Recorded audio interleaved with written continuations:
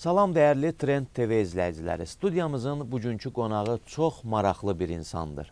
Uzun illər təhlükəsizlik orqanlarında müxtəlif vəzifələrdə çalışmış polkovnik Şamil Süleymanov. Şamil müəllim, xoş gördük. Çox sağ olun. Şamil Mən müəllim, Çox şadam ki, sizin studiyada görüşürəm sizinlə Sahil müəllim. təşəkkür Mən edirəm. hazıram ki, sizin suallarınıza hamısına tam halda cavab verəm. Təşəkkür Buyurun. edirəm. Şamil müəllim, e, 2023-cü il Prezident İlham Əliyev tərəfindən Azərbaycanda e, Ulu Öndər Heydər Əliyev ili kimi elan olunub və e, siz uzun illər Azərbaycan təhlükəsizlik orqanlarında çalışdığınız dövrlərdə Heydər Əliyevlə bir yerdə çalışmısınız, çiyin-çiyinə çalışmısınız, onun rəhbərliyi ilə fəaliyyət göstərmisiniz. Bəli. Mən istərdim ki, həmən illərə aid olan xatirələrinizi danışasınız. Çünki biz silsilə video müsahibələr edirik Ulu Öndərin Azərbaycan dövləti və Azərbaycan xalqı qarşısındakı müstəsna xidmətlərini e, Mən- vurğulayırıq e, müsahiblərimizlə bu istiqamətdə danışırıq. Mən həqiqətən Heydər Əliyev üçün rəhbərlik altında Dövlət Təhlükəsizlik Komitəsində praktiki işə başlamışam. Amma ondan qabaq isə mən azini bitirəndən sonra Neft Mədən Fakültəsini mən iki ay Stalin Neft Mədən e, idar idarəsində işləyəndən sonra məni e, kadrlar şöbəsi Dövlət Təhlükəsizlik Komitəsinin dəvət elədilər və məndən başqa 4 nəfər Azərbaycanlını razılığımızı almışdılar və bizi göndərdilər Belarusiyada Magilov şəhərinə. Orada əks kəşfiyyat ə, məktəbinin əzəli qoyulmuşdu və orada əsas kadrlar əks kəşfiyyat üçün hazırlanan o məktəbdə hazırlanırdı. Mən oranı bitirdim. Düz 34 il gün və gün mən işlədim Milli Təhlükəsizlik orqanlarında. Ondan ə, bir ilini əks kəşfiyyatda işlədim, 33 ilini kəşfiyyatda. Bir ilini mənim vaxtım onda getirmişdi ki, mən birinci addımı eləyəndə mən bilmirdim kimlə tanış olacağam, kiminlə, kimdə, kimə mən tabe olacağam, kimin rəhbərliyi altında işləyəcəm. Bunlar hamısı mənim üçün hamısı havada yazılmış bir məsələ idi. Amma məni kadr şöbəsinin nümayəndəsi saldı yanına apardı üçüncü mərtəbəyə. Otağa girdi, sonra otaqdan çıxdı ki, sizi gözləyirlər Şamil müəllim. Girin içəri, bir yerdə girdik. O mənim yanımda raport verdi ki, e, tavariş, onda tavariş idi, cənab derdi. Tavariş подполковник Гейдар Алиевич. Новый сотрудник Сулейманов Шамиль, а вот да? Так, по распределению направлен ваш отдел, будет вашим сотрудником. E derdi çok sağ ol. Sen gidebilirsen Süleymanov otur burada. Ben o stolun arkasında balaca stol da vardı onun yanında. Özü durdu geldi oturdu benimle üzbeüz. Ha? Özümü itirmiş kimi olmuştum ki "Aa, bu görkemli şəxsdir. Amma mənə qayıtdı dedi ki, Süleyman, mən sən işinlə tanış olmuşam. Tak, mənə xa, ə, kadr şöbəsindən verilmişdilər. Mən tanış olub və razılıq vermişəm ki, səni öz şöbəmə getirim. Amma sənin işində orada çox məlumat azdır. Nə, o- nə məktəbə kursa gedəndə oturub bir e, xasiyyətnamə yazmısan özünün haqqında. Yarım səhifə atam kimdir, anam kimdir, hansı məktəbi bitirmişəm, mən nə bilim, sonra hansı instituta girmişəm, hansı fakülteti bitirmişəm və beləncik hadisələrlə qurtar. Amma mən istəyirəm sənin haqqında biləm. Dəqiq sən həyatı bu vaxta kimi necə keçirmirsən. Sənin ora 27-28 yaşın var. Sən institutu bitirmirsən normal. Sonra bizim kursu da bitirmirsən normal 2 illik Magilovdakini. Ondan sonra mədəndə də işləmirsən, baş mühəndisə çatmısan. Sərişdən də var. Ona görə mən səni öz ə, şöbəmə getirdim ki, səni ə, ixtisasın üzrə səni o bölməyə təyin edim. Beşinci bölməyə məni təyin edin. Beşinci bölmə bütün bütün təsərrüfatı, sənaye təsərrüfatını qulluq edirdilər. O bizim borcumuz idi ki, təhlükəsizliyi o nazirlikdə təmin biz edək. Mənə çox sual verdi. Çox sualların arasında o bilmək istəyirdi ki, mən kitab oxuyuram ya yox. Süleymanov, sən axırıncı kitab hansını oxumusan? Mən dedim ki, Cura kitabı var, tezə kitabdır o, maraqlı kitab, hamısı oxuyur. Mən də onu oxumuşam. Tak, sonra sən teatr sevirsən, kino sevirsən, demək, dərəş, mən böyümüşəm müharibə vaxtında. Müharibə vaxtında ancaq Rus dram teatrı idi. Bir də ki, ə, Azərbaycan musiqi teatrı idi. Mən orada gedirdim, burada gedirdim. Rus, əsas Rus teatrı idi. Amma Cəfər Cavarlının piyeslərinə qoyulmuş səhnələrə mən çox xoşum gəlirdi. Mən ki, muziki teatrda baxırdım onlara. Sonra Süleymanov, sən biz operaya necə? Mən bilmirdim ki, bu şəxs demiş ki, həmi operanın ixtisasçıdır, həmi dram teatrının ixtisasçıdır, həmi muzikali teatrın, həmi kino, kino filmlərin biliyi dərya. Çox istedadlı şəxs idi. Onu ilə, onu ilə oturub söhbət edəndə hiss edirdin ki, o dəryadır, o qranitdir, o möhkəmdir. Birlikdə o barədə. Hətta bir dəfə bu Müslüm Maqamayev rəhmətlik burada çıxış edəndə ə, həyat yoldaşı ilə neysə dedi, Heydər Əli zalda oturmuş dedi, Müslüm, sən düz demirsən. O elmdir və muziki, e, muziki elmdir. Düz demirsən, diyan. Çıxdı, getdi səhnədə dedi, Müslüm bu belədir, bu belə-belə nə olur. Müslüm baxdı, baxdı, düz deyirsən Dərəliş. Bir sözlə bu şəxsiyyət e, biliyi o qədər dərin idi ki, o hər sahədə əməlli başda lap oturub alimlə söhbət edəndə bərabər səviyyədə o söhbət edirdi. Mən bunların hamısını sonra gördüm. Sonra bildim. Çünki mən ora gəlmə, getməmişdən qabaq onu tanımırdım. Bilmirdim ki, orada ikinci şöbənin görkəmli beləncik rəisi var. Onun rəhbərliyi altında əks kəşfiyyat şöbəsi böyük-böyük işlər görmüşdü. Məsəl üçün, Mən 62-ci ildə orada oldum. O Moskvadan bir telegram gəldi ki, maraqlı şəxslər gələndə ayrı kəşfiyyatlardan olan şəxs, ölkələrin kəşfiyyatından olan şəxslər olanda bizə Moskva xəbərdarlıq edirdi ki, bunlar gəlirlər e, məsələlərin həll etməyə maraqlanmaq, yazmaq. Oradan gəldi telegramma ki, bu şəxs səfirdir. Avropa ölkəsinin səfiridir. Amma onun bəzi-bəzi çatışmayan cəhətləri var. Budur, budur, budur.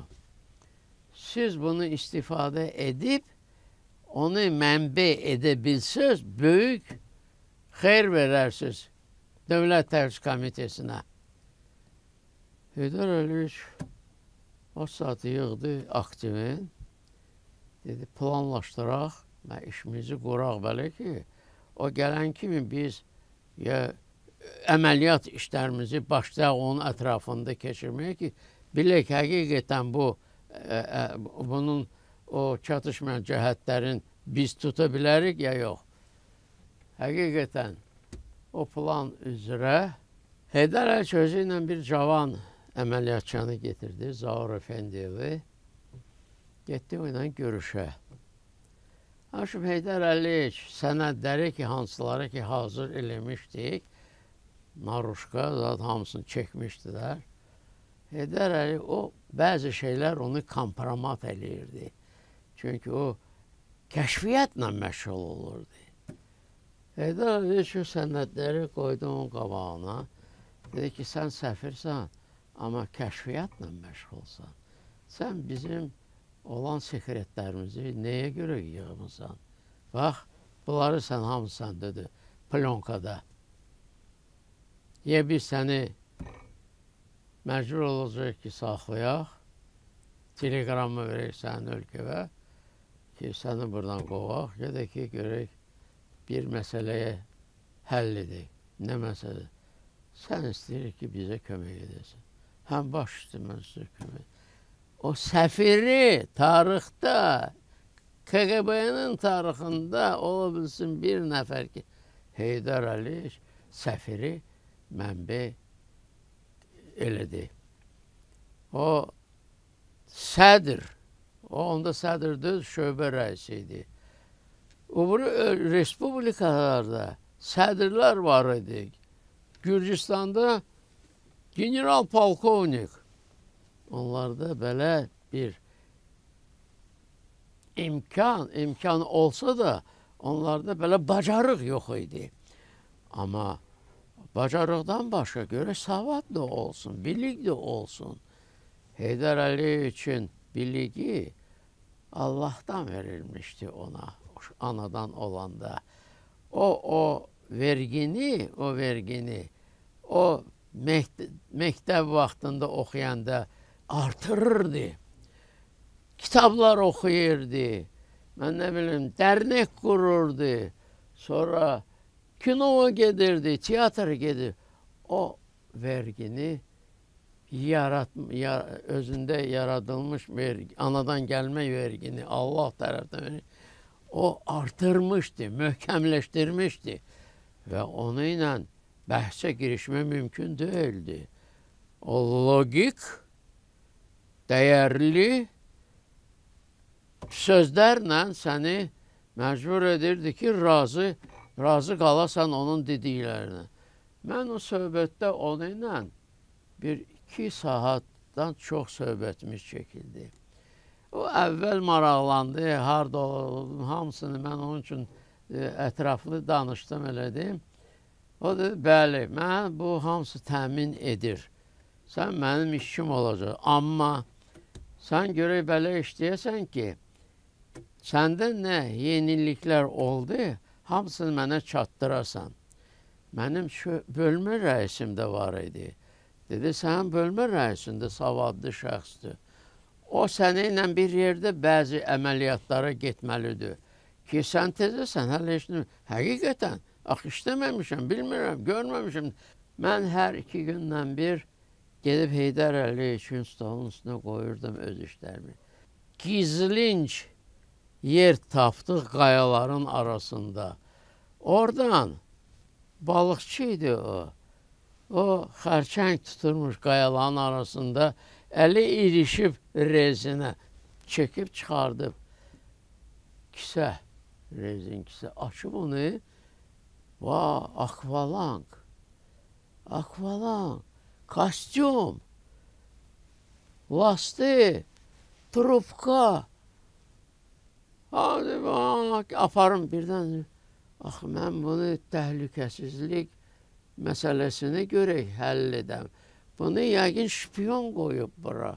Bizdə vardı məlumat ki, Amerikanlar e, İrandan kiçik submarinlərdə şpiyonları atırlar Sovet hökumətinin sahəsinə. Şimdi bir sözlə gəldim, saat 9-un yarısında Heydər Əliyev gəldi. Süleyman burada nə edirsən? Dedim, təcili. Dedim, belə bir məsələ var. Da? O saat təşkil elədi, komissiya, 15 milyon. Naruşkanı zadı hamısını çağırdı, yığdı. Komissiya bütün şöbələrdən görkəmli əməliyyatçıları gedin baxın görün o nədir. Amma orada qalsın sizin işçilər, balıq tutun, neyiniz ki, mən o şeyə baxım, sonra onu abratla yerinə qoymalıyıq. Gəldik, onu çıxartdılar, apardılar. Heydər Əlçin kabinetini, o kino plonkaya çəkdik. Bir-bir hamısını. Yenə qoyduq, Mişoku apardıq. Bir sözlə, bizdə belə məsələ oldu ki, biz görək bu nelegalı tutaq. Həqiqətən 4-5 ay keçəndən sonra biz o şəxsi tutduq. Amma o qədər iş gördük, çox danışmaq mümkün deyil. Çünki 5-6 ay hər gün, hər dəqiqə bir əməliyyatın bir hissəsi keçirilirdi ki, orada olmayaq ki, ora gəlmək istəyən şəxs şey üçün Görer ki orada adam var gelmez oraya. Yakın düşmez. Eğer şpiyondursa, nelegaldirsa, ha, qeyri-legal şəxs. Ha, o yaxınlaşmaz. Çünki bu yaxınlığında şəxslər var. Bir sözlə, bir il ərzində Heydər Əliyev ilə mənim işim olduqca çox zəngin oldu. Mən ondan ondan olan səriştə, onun səriştəsindən mən bəzi-bəzi elementləri getirirdim və yadımdan çıxartmırdım. Sonra mənim söhbətin axırında mənə Qoran kimi dərs verdi. Dedi, belə olmalıdır. Tövsiyələrimi yadından çıxartma. Səndə gələcəkdə hələ iş çoxdur. Sənin işin Allah bilir hansı dərəcədə olacaq hansı səviyyədə olacaqsan sən. Amma bunu həmişə əməl elə. Sonra bunu əməl elə. Bunu bir 5-6 dənə tövsiyəsi mənim üçün daimi əməliyyatımda əsas idi. Mən məsəl üçün 5 il sonra İranda işləmişəm 73-dən 78-ə kimi. Onun dediyi tövsiyələr mənim üçün elm idi. Mən kəşfiyyatda bəzi məsələləri yazırdım raport, onu görək təsdiq edəydi. Ye sədr, ye muavin. 64-cü ildən Heydər Əliyev muavin idi. Zəng vurdum, Heydər Əliyev olar. Hə, gəl. Mən gələn ki, hamısını sakitcə həll etmiş halda çatdırırdım. O hamısına qulaq asandan sonra deyirdi Süleymanov, bunlar hamısı yaxşıdır və bu, bu, bu hissədə bunu bələnçini etkinən. Bu bir. Sonra bu planda bu iki, iki hissəni dəyiş. Belə yazdı yenə bu tərinə. Başlayır. Gedib yazırdım tezədən getirib gəlirdim. Baxırdı, o təsdiq edirdi. O təsdiq edəndən sonra bilirdim ki, Bəli, bu əməliyyatı mən apara bilərəm. Və hamı o əpə, əməliyyatları ki, mən keçirdim, hamısının nəticəsi əla olurdu. Hamısı işçilərimizin, hamısının gözləri belə kəllələrinə qalxırdı. Bu, səndə necə olur ki, bunlar belə hamısı yaranır, amma biz isə güclə, bəlanla ildə bir dənə, yarım dənə iş görürük. Məni 86-cı ildə çağırdılar. İsveçə izamiyyətə göndərdilər. Üç il yarım orada işlədim. Əməliyyat orada da belə əməliyyat keçirmişəm ki, Amerikanların bazasından gizli cihazı o cihaz ancaq kəşfiyyat üçündür. CRO-nun kəşfiyyatı üçün. Onu o onların bazalarından oğramışıq biz. Bunlar hamısı, hamısı nəticə Heydər Əliyev üçün vasitəsilə məndə yaranmışdı. Mən hər şeyə bütün əməliyyatçıların arasında mən itirmirdim bu onun tövsiyələrini. Mən fikirləşirdim ki, onun kimi dərrakəli şəxs bizdə KGB-də olmayıb. Onun kimi bilikli, savadlı, yazı bilən, poza bilən bizdə olmayıb rəhbər. Sonra o tek burada yok. O bilikine göre Moskova'da Tikhonov'un muavini oldu. SSR'ın e, Nazirlər Soveti. Nazirlər Sovetinin sədrinin muavini oldu. Onun yeriydi. Qarbaçov tuttu oranı. Bir sözlə Heydər Əliyev kimi görkəmli, bilikli, savadlı bu iş tərəfi ondan başqa o böyük insaniyyətliyi var idi. O insanlara çox təvazökarlıq göstərirdi. Məsəl üçün, mən cavan işçi idim, tezə evlənmişdim. 68-ci Bizdə o vaxt ev məsələsi olduqca çətin idi. Bir dənə üç otaqlı da üç ailə yaşayırdı. Mən isə İçəri şəhərdə atamla yaşayırdım. No, mümkün o kö köhnə bolşevik idi. Yaşlı şəxs idi. Balaca uşaq müşət edirdi. O şimdi gənclikdə bizim altı mərtəbəli binamız vardı. Orada bir altıncı mərtəbədə iki, iki otaqlı ev boşaldı. Moskvaya köçdü getdi işləməyə. Zəng vurdu, Xozo, Orada Riyaz getir Süleymanov'un adına. Getir buraya bana. Orada verdi tebrik et. Git yaşa. Onda olan hissiyat o şəxsə şəxsin şəxs barəsində, işçi barəsində, əməliyyatçı barəsində ayrı fikir yoxdur. Amma ciddi şəxs idi. Görək hamısını düzgün edəydin. Olmazdı ki, sən bu xətti lazımlı xətti düz keçməyəsən. Hələ şey eləmək olardı. Hə. Heydər Əliç o saat bilirdi ki, bu düz deyil, bu düz eləməyib. Çağırardı, bunu belə nə şey eləmirsən? Hə. Yalandı ki, axı bu. Aynen, bağışlayın dədəş. Çıx buradan bayrağa. Söktardı, on taleyi bitti. Ona görə onun şöbəsində disiplin var idi. Ona görə onun şöbəsində işçilər hamısı bilirdilər yerlərini. İşçilər hamısı çalışqan idilər. Gecə gündüz işdə idilər. Mənim bir əməliyyatım var. Bir əməliyyatım. O Amerikanlının o qurğusunu, Dede Qorğud, o bizimdir. Biz bizim xəttimiz kəşfiyyat e, xətti yarandı 63-cü ildə noyabr ayında. Onu bizə Heydər Əliyev tapşırıq verdi. Öyrənin, görün, Meksikan körfəzində o nədir belənçinə bağlı? Bizə pek göstərir də, amma nə olduğunu bilmirdik. Oca 4-5 ildir orada bağlı yavaş-yavaş artır, böyüyür. Axırı ki biz o alimi ki tapdıq.